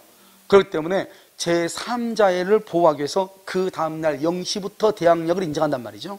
그런데 지금 여기서 보면 이 사람은 맨 처음에 자기 집이었죠. 그렇죠? 근데 집 팔았죠? 그리고 계속 그 집에 살고 있죠? 근데 지금은 누구예요? 임차인이죠. 근데 예부인이 봤을 때는 이 사람이 집판 사람처럼 보여? 여전히 소유자처럼 보여? 여전히 소유자인 것처럼 보이죠. 그래서 원래는 어때요? 임대차 5월 1일 임대차 있으면 이 사람한테 5월 3일 0시부터 대항력이 있어야 될 것 같잖아요. 대항력이 여전히 없다고요. 알겠죠? 없고 이 병이라는 사람이 이것을 을한테 등기해줘 등기 등기 언제 10월 1일 등기를 해줬죠 등기를 해주면은 아직 이 사람이 지금 뭐죠 임차인데 지금 이 사람이 등기를 가지고 있다 이 말이죠 알겠죠 그런데 등기를 10월 1일에 등기를 해줬다 그럼 이제 등기 부상으로 소유자가 아니라는 것이 명확해졌죠 그러면 이 을은 언제부터 대항력이 있다 10월 2일 0시부터 이렇게 아시겠죠 자 지금부터 볼까요 입주 및 전입신고를 한 주택의 소유자가 그 주택을 타인에게 매도함과 동시에 매도했죠? 함과 동시에 다시 임차했다. 임차했죠? 이것을 매도하면서 다시 다시 임차한다. 이걸 뭐라 한다? 점유 개정이다. 이런 말이죠. 주택 임차권의 대항력은 주택 양도인의 최초 전입신고, 최초 전입신고가 2월 1일이죠. OX, X죠. 언제부터다? 최초 전입신고이 아니고 언제부터다? 이전 등기한 날 이후 이전 등기한 날 이후 소유권 이전 등기를 한날 이후 이후가 언제죠? 다음 날 0시 이 말이죠. 이후 이렇게 이전 등기를 한 이후 이렇게 등기해 준 그 다음 날 0시 이렇게 자 이제 봐봐요. 직권말소 후 재등록이라고 되어 있나요? 자 여러분 이것은 아주 간단한데요. 갑이 있고 여기 을이 있잖아요. 여기요 2월 1일이요. 2월 1일 날 전입신고를 했어요. 여기요 5월 1일 날 직권말소가 됐어요. 연 주민등록 직권말소 해본 적 없어요? 해본 적 없어? 아 그래요? 나는 해본 적 있어. 자 7월 1일 날 7월 1일 재등록 이렇게 재등록이요. 학원을 원주에 사고 날 때요. 원주 학원 바로 앞에 원룸이 있었거든요. 근데 거기가 화장실이 너무 적은 거예요. 화장실이 화장실이 적어가지고요. 할 수 없이 원룸을 얻은 거예요. 그래가지고 구해가지고 그 원룸에다가 바로 그냥 같은 건물 안에 있었어요. 거기 그냥 처음부터 이렇게 바닥을 깔아가지고 아예 없이 사람들 걸어다닐 수 있게끔 해가지고 화장실만 쓴 거예요. 여자분, 여자분 화장실만. 뭐 세면도 하고 막 이렇게요. 그렇게 사용했단 말이죠. 그런데 거기다 그냥 계약을 했는데 그냥 할 수 없어가지고 제가 주민등록 전신을 거기다 한 거예요. 근데 뭐 까먹은 거예요. 까먹어가지고. 할 때만 하고 뭘 관심이, 관심이 없으니까요. 그리고 이제 이쪽으로 다시 옮겼잖아요. 한 번도 뭐 가볼 일이 없어가지고요. 날 갑자기요. 문자가 왔는데 문자 오면 뭐 다 스팸이니까 다 지우잖아요. 지웠는데 나중에요. 그 뭐 재난지원금 뭐 이렇게 이렇게 막 하잖아요. 그런데 재난지원금 한다고 뭘, 뭘, 뭐 경기도에서 뭐 어떻게 하라고 하는 거예요. 그래서 경기도 갔더니 내 주민등록 전입신고가 없는 거예요. 그래서 봤더니, 그래서 전주에, 원주에 전화했더니 나한테 공지를 몇 번 했대요. 뭐 했겠죠. 그래서 안 봐가지고요. 그래서 말소가 돼 있더라고요. 그래서 다시, 다시요, 재등록을 했거든요. 그래서 제가 보면 직권 말소가 되잖아요. 직권 말소는 뭐가 똑같아요? 전출 신고가 똑같아. 그러니까 전입 신고가요. 대항력이 있어요, 없어요? 대항력이 없어지는 거예요. 무슨 알겠죠? 그런데 이 사람이요, 재등록을 하잖아요. 그 재등록은 두 가지가 있어. 하나는 이재기. 이재기를 해서 재등록하는 경우가 있고, 그냥, 그냥 재등록하는 경우 두 가지가 있어. 그럼 이재기를 했다는 것은 이 직권말소가 잘 됐다는 거예요? 잘 못됐다는 거예요? 잘 못됐다는 거죠. 그러니까요, 여기 전입신고가 2월 1일이면 2월 2일부터 대항력이 있잖아요. 그 대항력이 그대로 유지가 되는 거예요. 그건 여기는요, 그냥 했다, 그냥 했다는 것은 직권 말소를 받아들였다 이 말이잖아요. 그러면 다시 재등록을 하죠. 7월 1일 날. 그럼 언제부터? 7월 2일 0시부터 대항력이 새롭게 발생하는 거예요. 여기는 A고 이건 B 케이스다 이 말이죠. 여기는 A 케이스고. 그럼 봐봐요. 문제는 이 사이에 직권 말소가 돼서 재등록할 때 이 사이에 언제요? 6월 1일 날. 여기 저당권이 있는 거예요. 저당권이요. 그럼 이 저당권자하고 임차인하고 누가 빠르냐 이게 문제가 되잖아요. 그런데 만약에 이의제기를 했다 그러면 누가 더 빠르고요? 누가 빠르고 임차인이 빠르고요. 여기 그냥 재등록했다 그러면 누가 빨라요? 저당권자가 빠르다. 이런 말이에요, 지금. 알겠죠? 자, 그럼 다시 한번 봐봐요. 직권말소 대항력이 없는 거예요. 그런데요, 재등록이죠? 뭐에 의해서 재등록이다? 중요한 것은 이 절차란 말이 중요해요. 이 절차에서 재등록이 이루어지죠? 그러면 종전의 대항력이 그대로 뭐가 된다? 유지된다. 유지된다. 알겠죠? 이런 경우 문제 뭐예요? 재등록이 이루어지기 전에, 이루어지기 전에 여러분 새로운 이해관계를 맺은 자, 새로운 이해관계 누구죠? 저당권이죠? 저당권.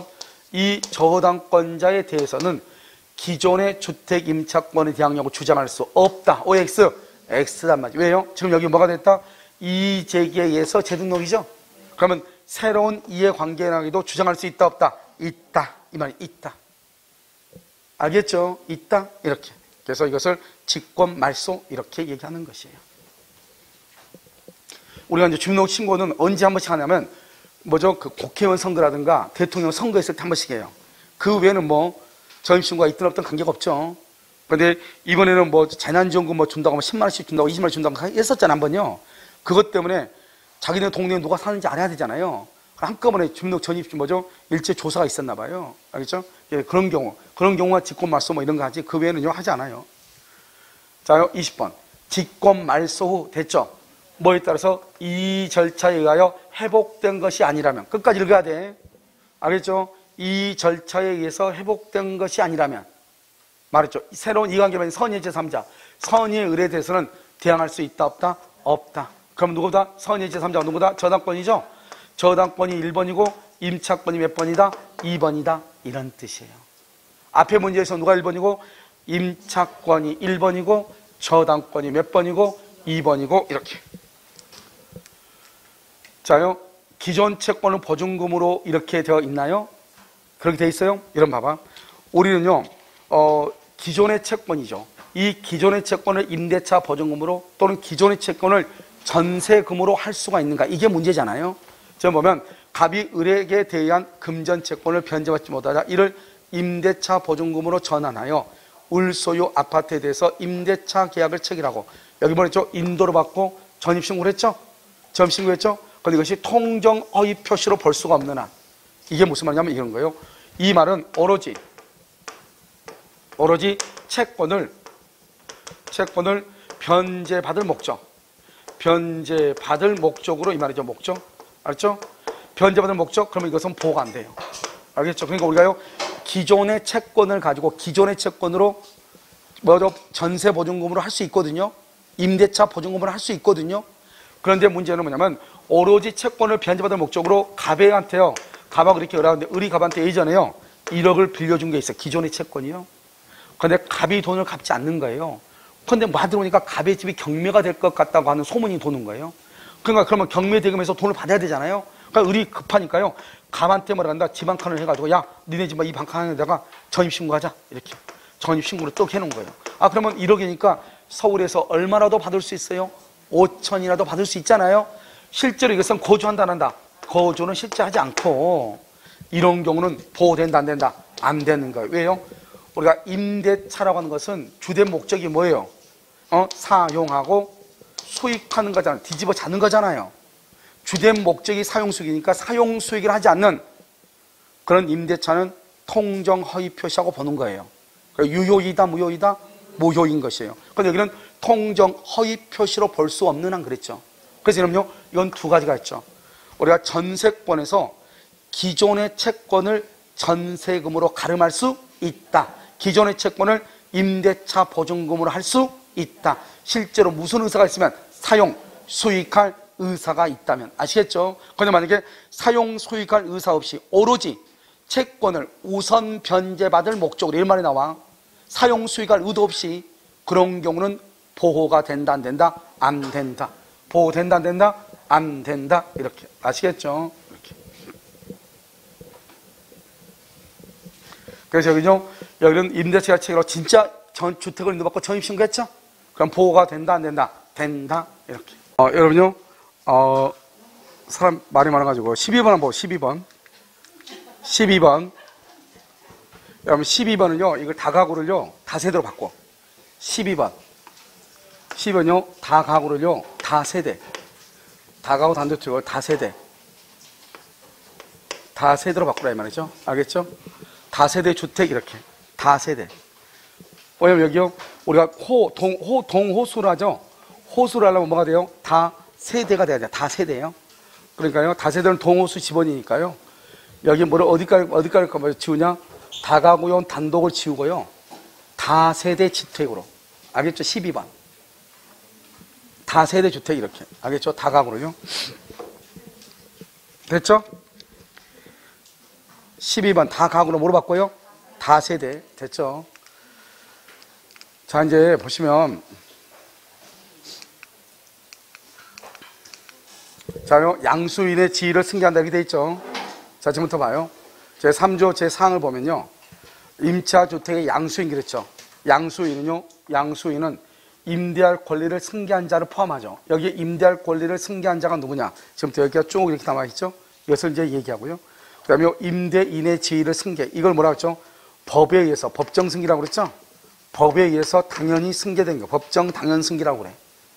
그래서 법에 의해서 당연히 승계되어 있기 때문에요. 이때는 어, 양소인은요 임차인의 그것을 통제할 필요가 있어요 없어요? 없고 동의를 받을 필요가 있어요 없어요? 없다 이란 말이죠. 자 볼까요? 여기는 양소인 말고 임대할 권리를 승계한 자가 누구냐? 기억 보세요. 명의 수탁자가 신탁자로부터 주택을 임대할 권리를 포함하여 주택에 대한 그 다음에 줄고요. 처분 권한을 전국적으로 이전이죠. 누가요? 수탁자가요. 원래 이런 수탁자는 소유자가 아니잖아요. 그런데 임대뿐만 아니라 처분 권한까지 알겠죠? 전국적으로 이전받았다 이 말이죠. 됐죠? 자, 니은요? 아니야. 그, 자, 니은요? 아파트 수분양자가 분양자로부터 이게 뭐냐면 아파트 수분양자가 누구냐면 을이에요, 을이요. 분양자가 누구냐? 갑이에요, 갑. 그래서 갑으로부터 을이요. 수분양자 분양을 받았는데 자기는 지금 분양 대금이 잔금이 부족한 거예요. 그럼 보통 이러면 어떡하죠? 보통 임대를 줘가지고 임대차 보증금을 가지고 마다 잔금에 가름하잖아요, 보통은요. 어? 그런데 이 사람이 부족하니까 열쇠를요, 분양자로부터 교부로 받았어요.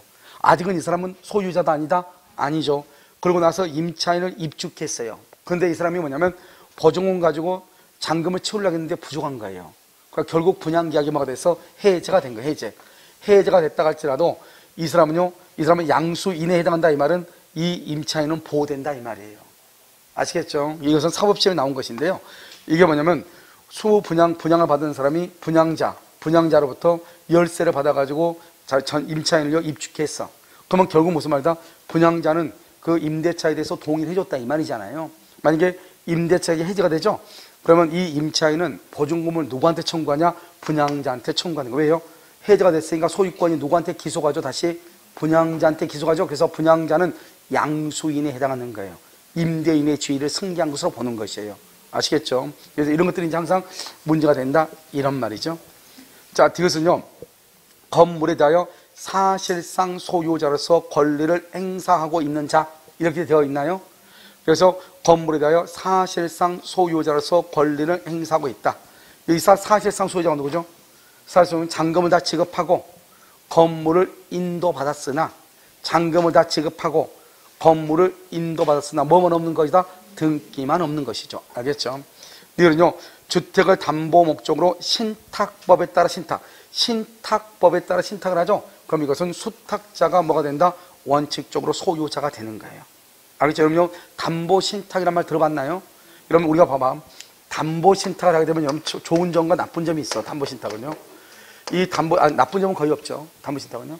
여러분, 만약에 여러분들이 아파트가 있다 해가지고, 여러분 갑이요. 은행 가서 대출 신청하죠. 신용이 나쁘면요. 대출 나와 안 나와? 안 나올 수 있어요. 아무리 땅이 많아도 실제로요. 뭐가 없다. 자기가 수익이 전혀 없죠. 수익이.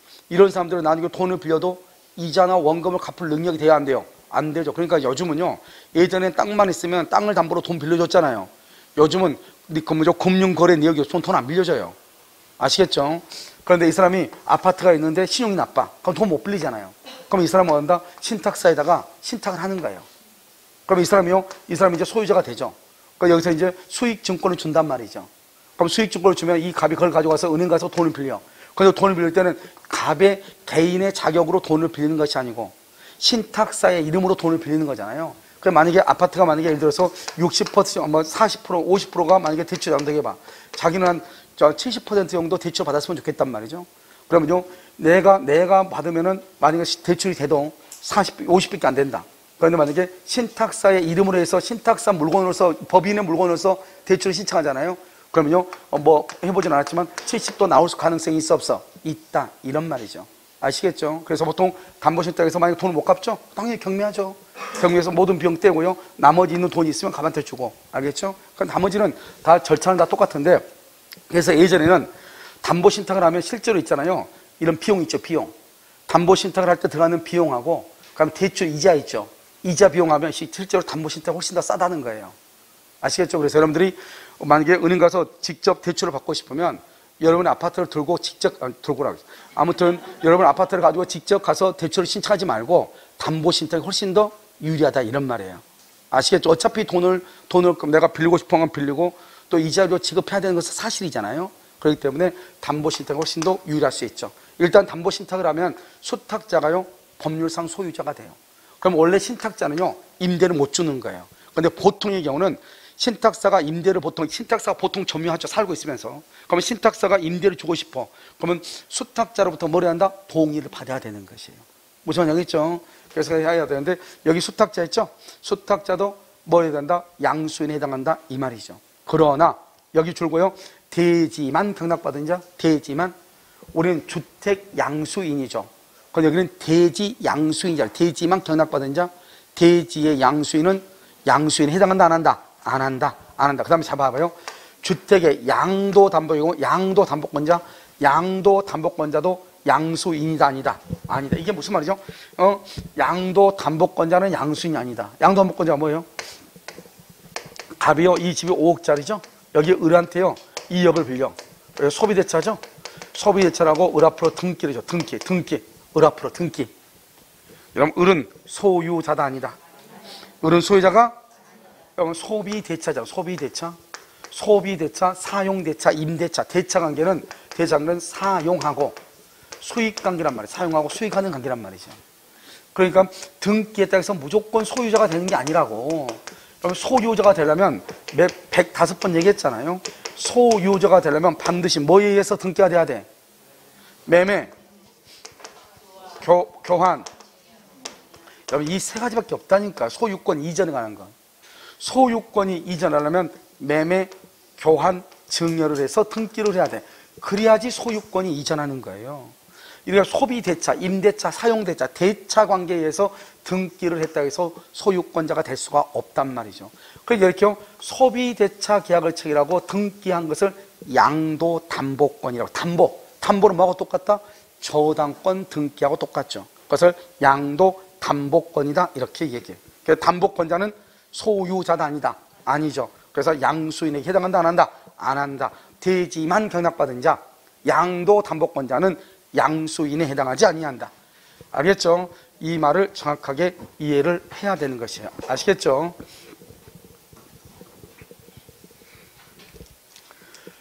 자, 그다음에 양수인이 그다음에요. 승계는 법률의 규정에 따른 승계다. 그래서 법정 승계다 이 말이죠. 그래서 그 지위의 승계에 임차 인의 동의. 필요하다 필요하지 않다. 받을 필요 없고 임차인한테 통지할 필요도 있다 없다. 없다. 이 말이에요. 통지할 필요도 없다. 아시겠죠? 법에 의해서 당연히 승계 이건 판례가 그렇게 얘기한 것이다. 이런 말이에요. 아시겠죠? 자 22번은요 적법한 임대 권한을 가진 자로 적법한 임대 권한을 가진 자가 누구죠? 적법한 임대 권한을 가진 자가 누구예요? 아 방금 얘기했잖아요. 이 친구가 뭐 했어? 여기 있잖아요. 기억부터 쭉 여기까지 어, 여기 그 지금 했잖아, 이 사람.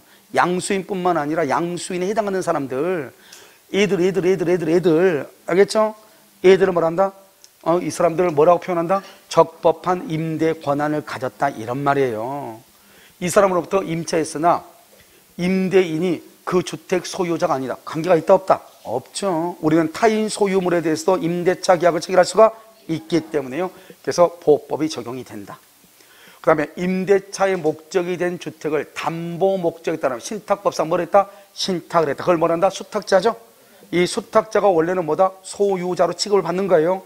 그렇기 때문에 임대인의 지위를 뭐란다? 승계한다. 이렇게. 중소기업이 아닌 법인. 잘 봐. 봐봐. 여기 봐봐.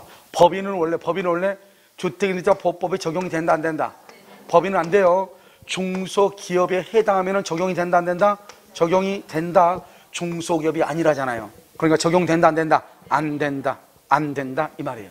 아시겠죠? 그래서 지위를 승계한다 승계하지 않는다. 승계한다 안 한다. 어? 여기 봐봐 여기 여기 여기. 갑이 있고 여기 무슨 말인지 여러분 알아야죠. 어? 여기 지금 갑이요. 우리요. 우리 뭐냐면 법인이에요. 법인인데 1억이요. 1억에 100만 원이요. 이렇게. 중개법인 중개법인. 중개법인은 중소기업이 아니다. 아니죠. 중개법인. 알았죠? 그러니까 이 법인이 이렇게 했단 말이죠. 그래서 이렇게 했는데 갑자기 집주인이 바뀐 거예요, 병으로. 병으로. 알죠?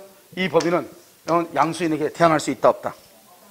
대항할 수 없다니까요.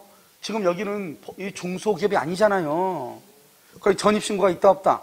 없잖아요. 보호된다, 안 된다? 안 된다니까요. 알겠죠? 그래서 임대인의 지위를 병은 승계한다, 안 한다? 안 한다. 승계하지 아니한다. 여기서 키워드가 뭐다? 중소기업이 아니다, 아니다. 그러니까 앞뒤로 봐야 되겠죠? 중소기업은 승계한다. 중소기업이 아닌 경우는 승계하지 아니한다. 이렇게. 아시겠죠?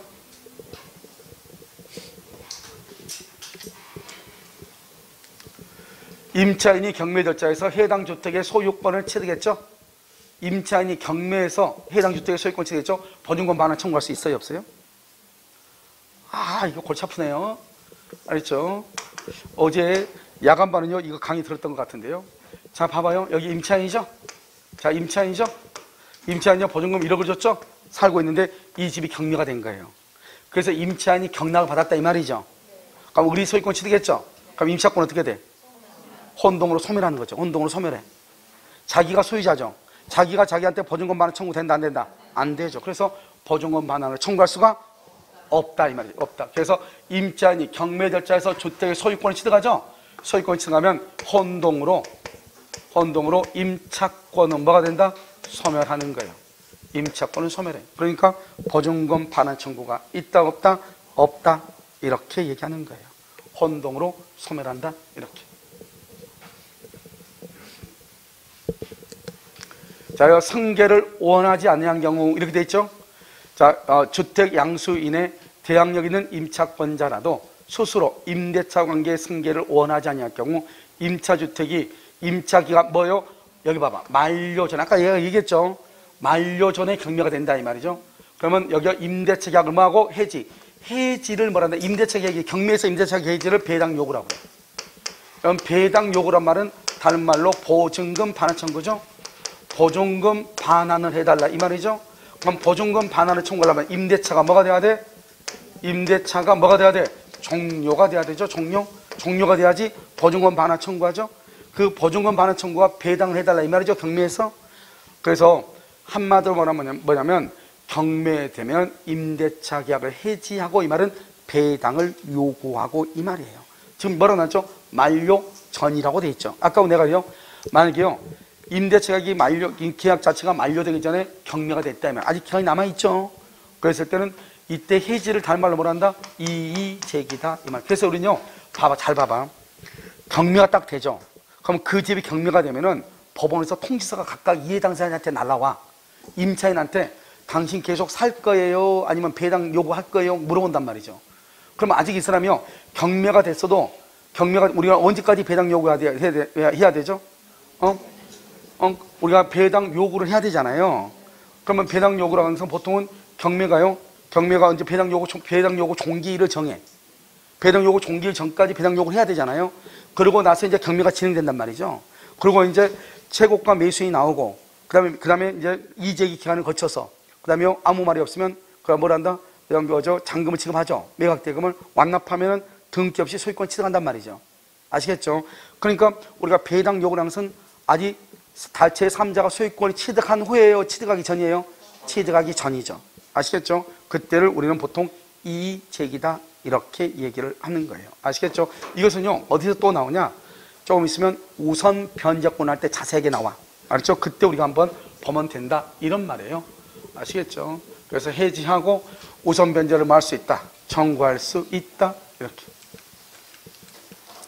대항력 갖춘 주택, 임차주택의 양수인이 임대차가 종료한 상태에서 임대인의 지위를 승계한 것에 대하여 대하여 임차인이 뭘 했다? 이 일을 제기한 경우에도 양도인의 임차인에 대한 보증금 반환 채무는 뭐가 된다? 소멸한다? 이렇게 돼 있잖아요. 지금요. 지금 여기 한번 봐봐요. 임대차가 지금 뭐가 됐다는 거예요? 종료가 됐다는 거예요. 임대차가 종료가 됐어. 그럼 임대차 기간이 끝났다 이 말이지 이것은. 아까는요. 임대차 기간이 끝나기 전에 지금요. 언제 이의제기를 했죠 이 사람은? 지금 소유자가 바뀌기 전에 한 거잖아. 근데 이건 이미 임대차가 끝났다는 거예요. 그럼 임대차가 끝나면은 보증금은 누구한테 청구할 수 있죠? 종전 임대인에게 청구할 수 있는 거잖아요. 그래서 끝나 종료한 상태에서요. 임대인의 지위를 승계하는 것에 대해서 임차인이 뭘 했다? 이 일을 제기했다 이 말이죠. 이 일을 제기. 그래서 보통은요. 이 제기한 것이 기간이 1월 1일에서부터 10월 1일까지 지금 현재 5월 1일 날 건물주가 병으로 바뀐 거예요. 병으로. 근데 병이요 이미 등기를 완료한 거예요. 이런 상태에서 이 제기는 보통 받아준다 안 받아준다. 안 받아준다 그러죠. 전속 중일 때는요. 법에 의해서 당연히 승계되니까요. 그런데 임대차가 종료하면은요. 뭐 법정갱신이라고 하는 제도가 있지 않는 한 원칙적으로는 자동 소멸하는 거잖아요. 알겠죠? 그렇기 때문에 여기서 나 그냥 돈 빨리 내달라고 이렇게 이의제기를 하게 되면 누가요? 종전, 양도인 누구죠? 양도인을 써 종전 임대인. 종전 임대인이요. 보증금 반환 의무를 지는 거예요. 알겠죠? 종전 임대인. 그래서 이의제기했을 때 이렇게 종전 임대인 이렇게.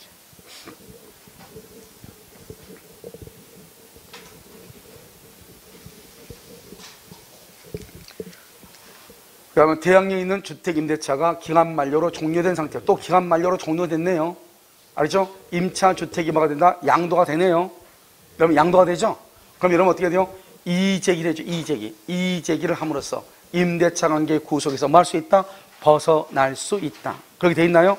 그래서 이의제기라면은 구속에서 벗어날 수 있다. 이런 말이에요. 됐나요, 지금요? 알겠죠? 그래서 이의제기 이렇게.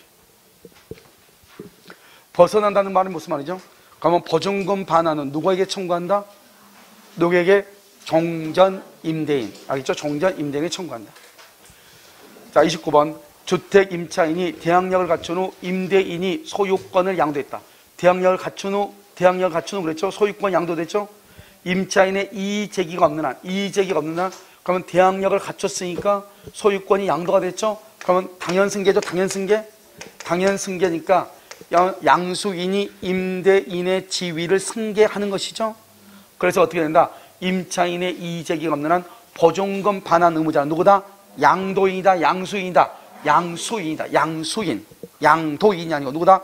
양수인이다. 양수인 이렇게.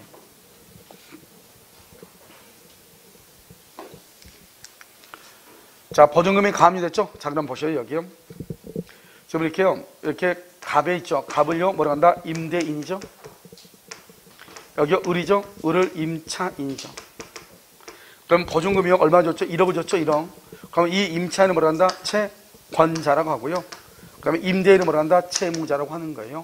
왜 임대인 채무자 보증금 1억 반환해야 되니까요. 알겠죠? 그런데 여기에서요, 이 A한테요, 을한테요, A가요, 채권자요. 이 채권자가요, 1억을 빌려줬어요. 그러면 이 임차인을 뭐라 한다? 채무자라고 하는 거잖아. 채무자. 그러니까 이 임차인은 보증금으로 보면은 채권자고 1억으로 이 1억의 소비대차로 보면은 채무자가 되는 거죠. 그런데 하도 이놈이 돈을 갚지 않으니까요. 이 채권자가요. 이 임대차 보증금 1억에 대해서 뭐랬다? 가압류를 탁친 거예요. 가압류를요. 언제요? 5월 1일 날요. 가압류 쳤어요. 그러면 이제 어떻게 돼요? 이 갑이라고 하는 사람은요. 보증금 1억 원을 을한테 반환하면 안 되죠. 누구에게 반환해야 돼요? A에게 반환해야죠. 을에게 반환하면 안 되는 거예요. 알겠죠? A에게 반환해야 되는 거예요. 그런데 이 갑이라고 하는 채무자는요. 이 사람은 을에 대한 채무자지 A에 대한 채무자는 아니잖아요. 그럼에도 불구하고 돈을 반환해야 되죠. 그래서 여기요. A하고 을하고는 을을, 을을 뭐란다? 채무자죠. 근데 이 채무자하고 갑하고를 비교하기 위해서 이 사람을 제3채무자다 이렇게 표현을 하는 거예요. 알겠죠? 그럼 이 사람은 을의 채무자지 A의 채무자는 아니다 이런 뜻이에요. 그러면 이제 그러면 이제 어떻게 돼요? 이 상태에서 그러면 만약에 임대차가 끝나죠. 끝나면은 갑이 A한테 돈을 반환하는 거예요. 그런데 여기서요 가압류가 돌아왔을 때 여기서 A, A가요 1억을 반드시 줘야 된다 그러니까 갑이 알았어 이렇게 얘기했단 말이죠. 그러니까 압류가 딱 들어오자마자 을이 그때부터 월세를 안 내는 거예요. 한 달에 200인데 5월 1일부터 10월 1일까지 월세를 안 내는 거예요. 어차피 돈 못 받으니까. 그래가지고 그러다 보니까요 연체 차임이 몇 개월이에요? 5개월이죠. 5개월 얼마다? 천만 원이죠. 그럼 나는요 나는 10월 1일 날 이 A한테 1억을 주기로 했잖아요, 갑이요. 그런데 이 사람이 연체 차임이 있잖아요. 그럼 이때 문제요. 1억을 반환한다, 갑은 9천을 반환한다. 이게 중요해. 얼마를 반환한다? 여러분요, 우리가 임대차에서 임대차가 종료할 당시, 종료해서 목적물을 인도받잖아요. 전 임대, 임대차 목적물을요. 발대가 발생한 모든, 모든 채무를, 채무를요, 당연 공제하고, 당연 공제하고 나머지를 반환하는 거예요. 나머지를. 당연히 공제하는 거야. 당연히. 그러니까요. 내가 내가 이 사람이 압류가 들어올 때 5월 1일 날 1억이니까 1억을 준다 했는데 10월 1일 지금 현재는 얼마밖에 없어? 9천밖에 없는 거야. 9천. 그러니까 얼마만 준다? 9천만 원만 주는 거예요. 아무리 1억을 준다고 했어도 9천만 원만 주는데. 그래서 임대차 관계에서 발생한 모든 채무를 공제하는 거예요. 여러분 지금 이해되셨나요? 알겠죠? 그렇게요. 그러니까 만약에 여러분들이요. 여러분들이 갑하고 을하고요. 사이가요. 좋은 사이다. 그럼 어떻게 하면 돼요? 그럼 친구한테 월세 내지 말아 하면 되죠. 왜? 어, 내 월세를 내는데 금융으로 금융 계좌로 넣지 말아 하면 되죠. 은행 계좌로. 그럼 마치요. 연체하고 있는 거가 똑같잖아요. 그러, 그러다가요. 한 3개월 있다가요. 내용지문 하나 띡 보내고. 알겠죠? 그러면 친구가요. 그거 받고 좋다고 하면서 둘이 또 가가지고 포장마차 술 한잔 하고. 어? 무슨 말인지 알겠죠? 그러고 나서 어떻게 한다? 이 사람이 또 라면 끓여 먹다가요. 또 한 번 또 불 한번 태워주고. 뭐 이렇게 해가지고 또 수리하고. 그럼 수리 비 용 또 빼고. 이렇게. 이렇게 해가지고 어떻게 한다? 이 친구한테 돈을 줄 수가 있는 것이죠. 무슨 말인지 아시겠죠? 자, 그 다음에 문제는요, 중간에 이 사람이요, 8월 1일 날, 8월 1일 날 또 이렇게 병한테 또 바뀐 거예요. 집, 집주인이. 병으로 바뀐 거예요. 그러면 양수인이죠. 양수인은 임대인의 지위를 승계하죠. 임대인이 제3채무자잖아요. 그러니까 이 양수인은 제3채무자의 지위를 승계하는 거예요. 그러니까 맨 처음에는 누구죠? 5월 1일 날은 갑이 임대인이었죠? 지금 현재는 누가 임대인이다? 병이 임대인이죠? 이걸 이거 채권 가압류. 가압류 채권자 똑같아. 이 가압류 채권자는 그러면 누구한테만 책임을 묻는다? 양수인에게. 양수인은 왜? 양수인은 임대인의 지위를 승계한다고 아까 방금 앞에 우리 법전이 봤잖아요. 그러니까 당연 승계니까 제3채무자의 지위를 병이 승계하는 거예요. 그러니까요. 채권 가압류 권자는 병에 대해서만 권리를 행사하는 거예요. 아시겠죠? 자, 이 말을 가지고 지금부터 봐. 주택임대차 보호법상 대항력을 갖춘 임차인의 임대차 보증금 반환 채권이 가압류된 상태에서 양도가 됐다 이 말이죠. 그러면요 양도가 됐다. 양수인은 양수인은 채권, 채권 가압류, 채권 가압류의 제3채무자, 제3채무자의 지위를 뭘한다? 승계한다. 알겠죠? 말을 읽어야죠. 채권 가압류의 지위를 승계한다. 그 말은 당연히 돈을 갚는다 이 말이죠. 아시겠죠? 당연히 갚는다 이렇게. 자, 임차인의 보증금 만원 채권이 가압류죠. 그래서 그 주택이 양도가 되죠. 가압류 여기는 여기 봐봐. 여기는 가압류 채권자죠. 양수인에 대해서 가압류의 효력을 말할 수 있다. 주장할 수 있다. 누구에 대해서만 가압류 채권은 양수인. 양수인 누구다? 제3 채무자의 지위를 승계한 자. 그래서 양수인은 뭘 한다? 제3채무자의 지위를 뭘 했다? 승계했다. 이렇게 승계 이렇게. 자, 됐죠? 자, 이제요, 575조는 뭐냐면, 이런, 이런 것이죠. 자, 봐봐. 어, 여기, 여기가 우리가요, 담보 책임이죠. 담보 책임에서요, 이 건물이 있는데요, 아파트가 있는데요, 갑이 을이요, 을이 매수이죠. 매수를 했단 말이죠. 그럼 매수했는데 갑이 뭐라냐, 여기에요, 여기에 A라는 사람이 임차인이 살고 있는 거예요. 그래서 1월 1일부터 10월 1일까지요. 그럼 내가 지금 8월 1일 날요, 매매를 했단 말이죠. 매수인이요. 그럼 매수인이 말한다, 나 이거 집에 들어가 살아야 된다, 10월 1일 날. 아니 8월 1일 날 이렇게 얘기했단 말이죠. 그냥 가면을 한다. 을한 A한테 가져 임찬한테. 내가 집을 팔러 가는데 너 어떻게 생각하니? 이렇게요. 그렇게 생각했더니 뭐라 했죠? 말했더니 뭐라 한다 A가 그러면 돈 주면은 뭐 이사 비용이라도 준다고 하면은 뭐 이렇게 얘기한단 말이죠. 이 사람이 생각하는 이사 비용은 500을 얘기하는 것이고 이 사람이 생각하는 이사 비용은 200을 얘기한단 말이죠. 알겠죠? 포장이사요. 그런데요. 알았다고 걱정하지 말라고 고맙다고 하고 서로 악수하고요. 헤어졌단 말이죠. 그래가지고 이제 7월 30날이요. 내일 사람이 이사 오니 지금 준비는 됐죠. 그러니까 이 사람이 알았다고 하죠. 근데 와서 봉투를 보니까 봉투가요. 500이면 이 정도 두툼해야 되는데 이 정도밖에 안 되잖아요. 그러니까 어떻게 한다? 이 사람이요. 봉투를 딱 보고 너무 얇으니까 자기 방 구했다 못 구했다. 못 구했다. 방다 구해놨으면서 못 구했다고 지금 버티고 있단 말이죠. 아시겠죠? 그럼 이제 이 사람이 강자고 약자가 되는 거죠, 이제. 알겠죠? 그런데 이 사람은 아무것도 모르고 그 다음날에요. 이사를 들어온 거예요. 그래서 크레인을 쭉 올렸더니요. 누군가가요. 옷 벗고 자고 있더라. 이 말 아니에요, 지금. 아시겠죠? 그러면 이사 들어와 못 들어와? 못 들어오죠. 그러면 이 매수인은요, 사용하고 수익할 수 있어요, 없어요? 없죠. 그래서 용익 권능이 제한됐다 이 말이죠. 이런 경우 이 매수인은 누구인 경우 안에서 선의, 선의인 경우 안에서 계약을 뭐라고 해제하고 손해배상을 말할 수 있고 청구할 수 있다 이런 말이잖아요. 이것을 575조 용익 권능에 관한 담보책임이라고 얘기하는 거예요. 그게 그냥 그렇게 그냥 그대로 돼 있는 거예요. 중요하진 않아요. 담보책임이 있으니까 우리 시험에 안 나와. 그럼 읽기만 하면 이 법에 따라 임대차의 목적이 된 주택이 매매됐죠. 매매. 그런데 매매 대상인 주택에 임차인의 대항력 있는 임차권이 있어. 지금 살고 있죠? 그런데 575조 제1항과 3항을 준용하고 준용한단 말이 무슨 말이다? 그로 인해서 이 임차인 때문에 이 사람이 사용하고 수익할 수 없을 때는 용익 권능의 담보 책임, 선보죠 선인 경우 안에서 계약을 해제하고 손해 배상을 말할 수 있다, 청구할 수 있다 이 말이죠. 알겠죠? 그것을 지금 얘기하는 것이에요.